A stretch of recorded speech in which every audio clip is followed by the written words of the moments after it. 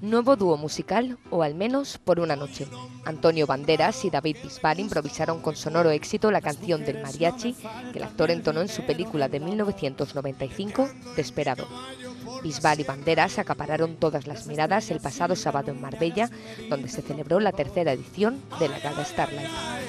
Ay, ay, mi amor, ay, mi morena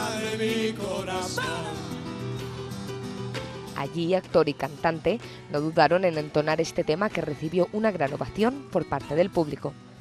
Como el hollywoodiense intérprete ya se conocía la canción, no tuvo que acudir a la chuleta que portaba en mano Bisbal, mejor en pop latino que en rancheras. Con esta improvisación, ambas celebrities pusieron de relevancia el buen tono del que se pretendía cubrir el acontecimiento que destinaba su recaudación a fundaciones de ayuda a niños desfavorecidos. Acompañando al espontáneo dúo, acudieron a la gala Starlight muchos famosos que además de demostrar su solidaridad pagando entre 800 y 1000 euros el cubierto de la cena, hicieron de público para esta actuación sorpresa.